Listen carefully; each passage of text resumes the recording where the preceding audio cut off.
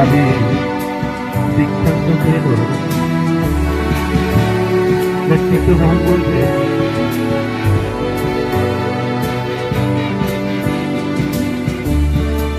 ফিরে চল